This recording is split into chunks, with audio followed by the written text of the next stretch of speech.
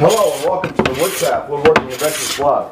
We're here in Fultondale, Alabama with Joe Hurst, Senior Editor at Woodcraft Magazine. and we're going to tell you how to turn any ordinary garage into a great workshop, whether you're a beginner or whether you're a pro.